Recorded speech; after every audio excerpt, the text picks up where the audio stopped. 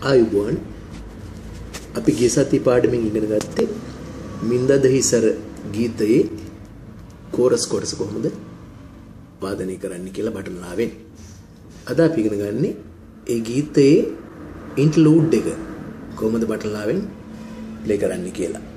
මේ තියෙන්නේ ඉන්ටර්ලූඩ් එකේ ස්වර ප්‍රස්ථාරේ මම දැන් ඔයාලට කියලා දෙන්නම් කොටසින් කොටස කොහොමද අපි මේ ඉන්ටර්ලූඩ් එකේ ස්වර ප්‍රස්ථාරය වාදනය කරන්න කියලා. මුලින්ම තියෙන්නේ පාස්වරය. පාස්වරය දෙනවා මාත්‍රා 6ක්. පාස්වරය වාදනය කරන්නේ මේ විදියටයි. ඔයාලා දන්නවද දැන් සිදුරු සියල්ලම වහලා හයියෙන් බ්ලෝ කරනකොට එන්නේ පාස්වරය කියලා. පාස්වරය අපි මාත්‍රා 6ක් ඇදගෙන ඉන්නවා. දෙවෙනි විභාගයේ අවසාන ස්වර දෙක ධාමා ධාමා කියලා වාදනය කරන්නේ මේ විදිහටයි. දෙවෙනි විභාගයේ තියෙන ධාමා යටම සිදුර ඇරලා අපි හයියෙන් බ්ලෝ කරනකොට දයන්න. ඊට පස්සේ උඩ සිදුරේ භාගයක් මෙහෙම ඇරලා ප්ලේ කරනකොට මයන්න.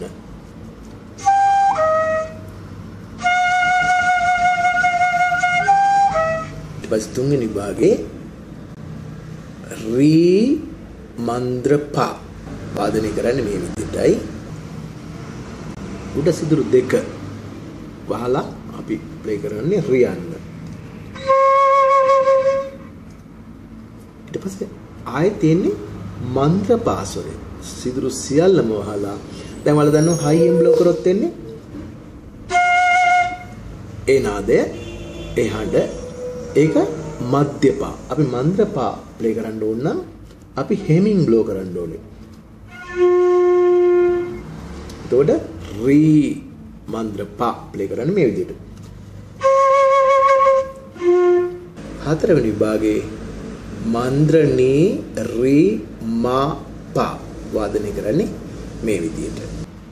මන්ද්‍රණී ප්ලේ කරන්නේ සිදුරු හතරක් වහලා අපි හෙමින් බ්ලෝ කරනවා. සිදුරු දෙකක් වාලා ප්ලේ හෙමින් බ්ලෝ කරනවා. උඩ සිදුරේ භාගයක් වාලා හෙමින් බ්ලෝ කරනවා. ඊට පස්සේ සිදුරු සියල්ලම වාලා හයියෙන් බ්ලෝ කරනවා.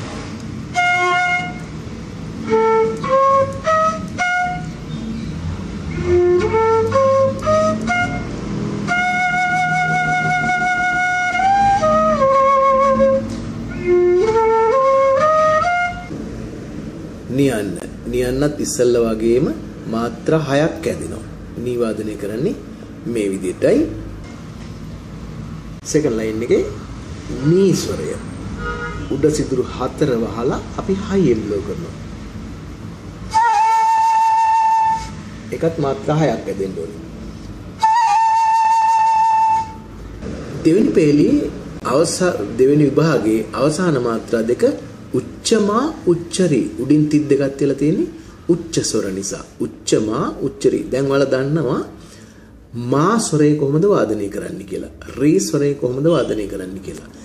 උච්ච ස්වර වාදනය කරනකොට මෙන්න මේ විදිහට ඒක හයියෙන් බ්ලෝ කරන්න ඕනේ. එතකොට තමයි උච්චමා උච්චරි වාදනය වෙන්නේ.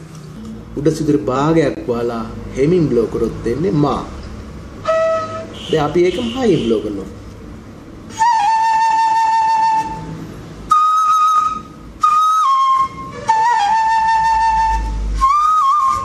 රියන්න ප්ලේ කරනකොට උඩ සිදුරු දෙක වහලා.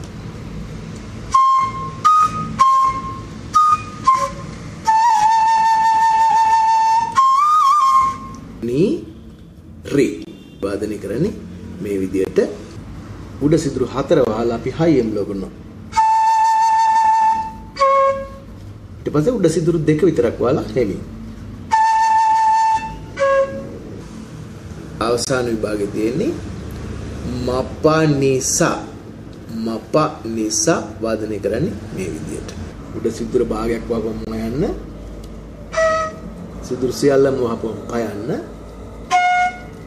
යට සිදුරු දෙක ඇරලා හයියෙන් පිම්බම නියන්න. සිදුරු තුනක් වහලා හයියෙන් පිම්බම උච්ච සයන්න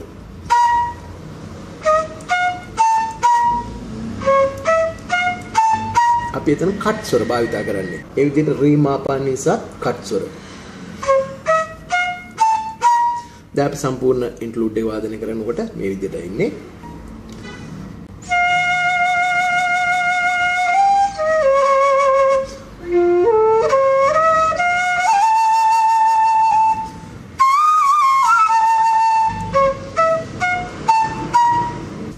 අපි අන්තරා කොටස ලබන සති ඉගෙන ගමු.